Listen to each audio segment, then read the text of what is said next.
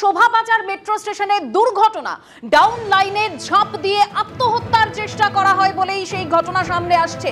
দমদম থেকে সেন্ট্রাল পর্যন্ত আপ ও ডাউন দুই লাইনে ট্রেন চলাচল ইতিমধ্যেই ব্যাহত রয়েছে।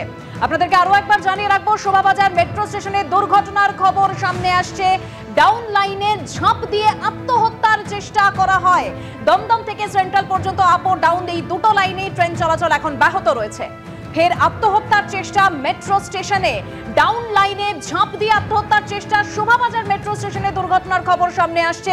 ইতিমধ্যেই দমদম থেকে সেন্ট্রাল পর্যন্ত আপ ও ডাউন এই দুটো লাইনেই ট্রেন চলাচল ব্যাহত হয়েছে। আর বিস্তারিত তথ্য জানব অরিত্রিক ভট্টাচার্য। আমাদের প্রতিনিধি রয়েছেন আমাদের সঙ্গে টেলিফোন লাইনে অরিত্রিক। দেখো, যেটা জানা যাচ্ছে, বারোটা পঁয়তাল্লিশ মিনিটের ঘটনা। এবং এখনও পর্যন্ত নির্দিষ্টভাবে জানা যায়নি যে যিনি ঝাঁপ দিয়েছেন তার শারীরিক অবস্থা এখনও কেমন, কারণ তাকে উদ্ধার করার যে পদ্ধতি সেটা শুরু করা হচ্ছে।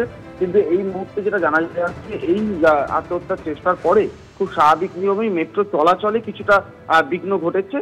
ইতিমধ্যেই যেটা মেট্রো তরফে জানানো হচ্ছে যে, দমদম থেকে দক্ষিণেশ্বর পর্যন্ত মেট্রো চলাচল সম্ভব হচ্ছে। অন্যদিকে সেন্ট্রাল থেকে নিউ গড়িয়া পর্যন্ত মেট্রো চলাচল সম্ভব হচ্ছে। অর্থাৎ মাঝের যে দমদম থেকে সেন্ট্রাল পর্যন্ত যে অংশ সেই অংশে মেট্রো চলাচল আপ এবং ডাউন দুটো দিকেই বন্ধ রয়েছে। ট্রাঙ্কুলেটের সার্ভিস রয়েছে। যিনি ঝাঁপ দিয়েছেন, তাকে উদ্ধার করার জন্য এই মুহূর্তে মেট্রোর পরিচালনার জন্য যে প্রয়োজনীয় বৈদ্যুতিন ব্যবস্থা সেটা সম্পূর্ণভাবে বন্ধ রেখে তাকে উদ্ধার করার চেষ্টা করা হচ্ছে এবং তাকে উদ্ধার করার পরই জানা যাবে যে তার শারীরিক অবস্থা ঠিক কীরকম এবং সেই অনুযায়ী তাকে হাসপাতালে পাঠানো বা অন্যান্য ব্যবস্থা করা।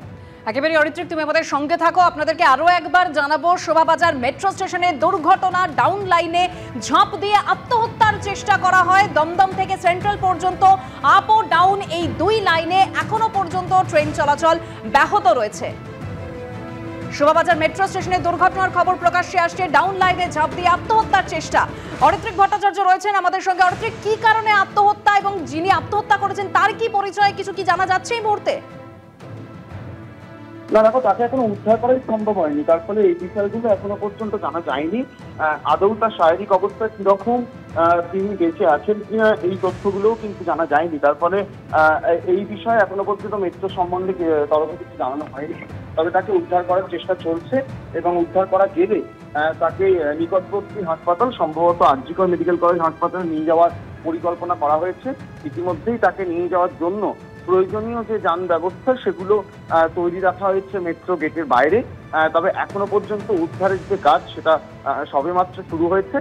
কিছুক্ষণ পর এই বিষয়গুলো বিস্তারিত জানা যাবে। তবে মেট্রো চলাচল যে বন্ধ সেটা কিন্তু বিভিন্ন আহ, ইতিমধ্যেই ঘোষণা করা শুরু হয়ে গিয়েছে। ধন্যবাদ অরিত্রিক।